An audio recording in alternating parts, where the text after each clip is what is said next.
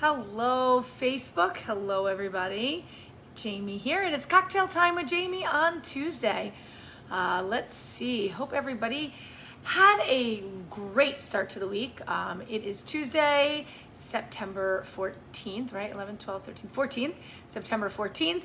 And uh, Aroma Thyme is closed tonight, but I thought I would bring you a uh, cocktail time with Jamie. And um, just bring you something to, uh, to share, to brighten up your day, and uh, give you some ideas for some cocktails. So uh, thanks. I see some people joining. Hello, Dana. If you are watching me live, if you can put hashtag live in the comments. If you're watching on the replay, hashtag replay. You know, I'm finding that my my live notification isn't going out until a little bit later. I'm not sure why, um, but interestingly enough, it uh, it's taking a little bit of time to go out. So hello Laura, hello Dana, hello Ralph. Thank you everybody for watching me. I appreciate it. Um, I Marcus and I are so appreciative of all the support that we've gotten over um, the last year and a half, 18 months or so. I appreciate you watching us. We appreciate you coming to the restaurant. We appreciate you eating our great food, watching me live, watching Marcus live. Uh, you know, we're always about giving you information and sharing information with you and making you grow as a person. Um, that is just what we do. That's what we do with our staff. That's what we just do. You know, it's important to us and become better people and eat good food and drink good food. And um, let's see, hold on one second. Let me just grab the phone. Let me help you. We are not. We are closed on Tuesdays and Wednesdays. No problem. Um, let's see. I keep missing you live. It's been a while. Yes, hello Heidi. Nice to see you on. Hello Ronnie. Um, I see more and more people joining me. So we are closed on Tuesdays and Wednesdays. For those of that, those of you that don't know that, we'll be back open on Thursday night. We will have jazz, jazz live in our garden tomorrow night, uh, Thursday night. Um, just so you know, Marcus and I keep reiterating this, and we keep talking about this, and I think sometimes people just don't really understand how we're operating these days. But um, we are only doing outside dining when it is nice outside, and the bar is always available. But inside dining is only available when it is raining and as it gets colder. Um, and hopefully, in the next couple of weeks here, uh, our fire pit will start to be lit, and um, you can enjoy the nice warmth of the fire pit as it gets cooler. But so far, we really haven't had to light it because it's been uh, pretty warm. There's been a couple of cooler nights, so we'll turn on our our heaters in our back garden area. But we have a beautiful back garden. If you haven't been here, please check it out. It is awesome. Um, it, it is a beautiful garden and we'd love for you to enjoy it and um, take advantage of being outside in the beautiful Catskill Mountains in beautiful Ellenville, overlooking the mountains. And we'd love for you to uh, join us for dinner and, uh, of course, drinks if you'd like. The bar is always available for that as well. Hello, Albie. Long time no see. I know, Albie, I've, I've missed you. Heidi, we've missed you as well. Hello, Ronnie. Thank you everybody for watching me, for joining me.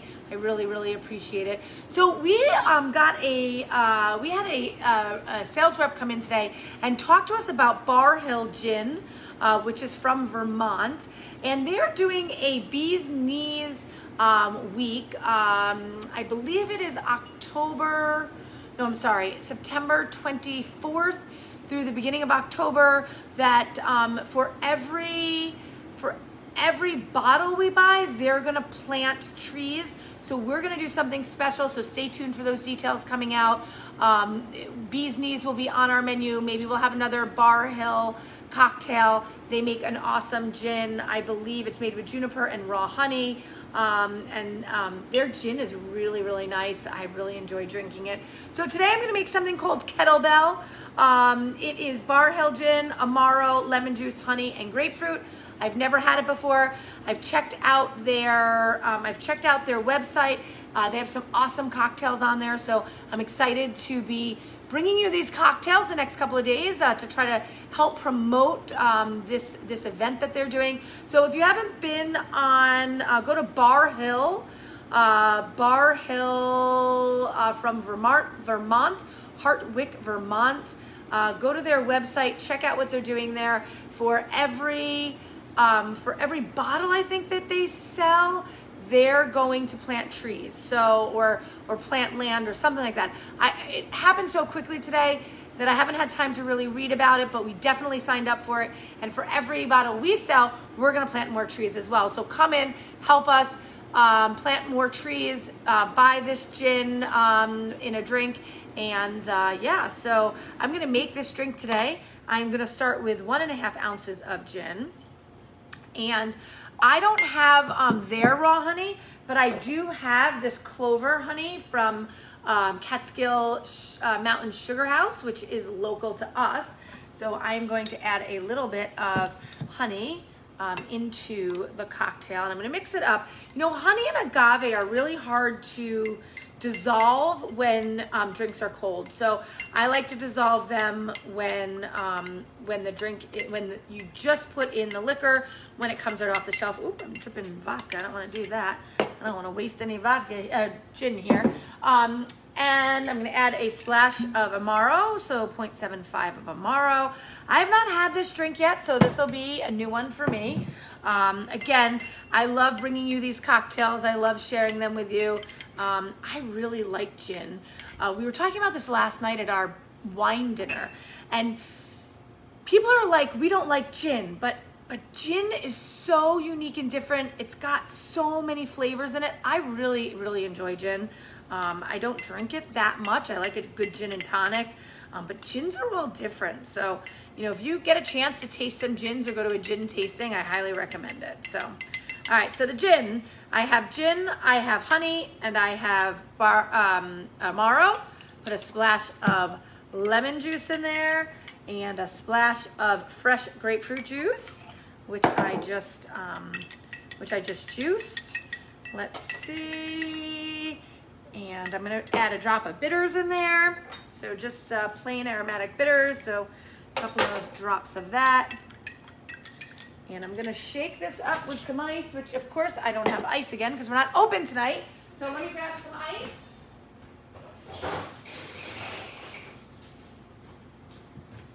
I'm coming everybody. Grab some ice. I forgot to put ice in my ice bin because we're not open, so I forgot. So I'm gonna add some ice to here, to my glass. And I'm going to pour this cocktail on ice and I'm going to uh, stir that up there. Get that nice and cold. So thanks everybody for watching me. I really, really appreciate it. Um, so grateful for all of the people. You know, I get to see so many of the same faces time and time again. And I, I really, really appreciate it. So lots of people who were at our wine dinner last night are here. So that's really cool too. So I'm gonna shake that on up again get it nice and cold. So hello, Karen. Hello, Susan. Hello, Matthew.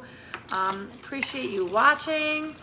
And um, again, if you're just joining me, um, I am making something called Kettlebell with Barr Hill Gin from Vermont.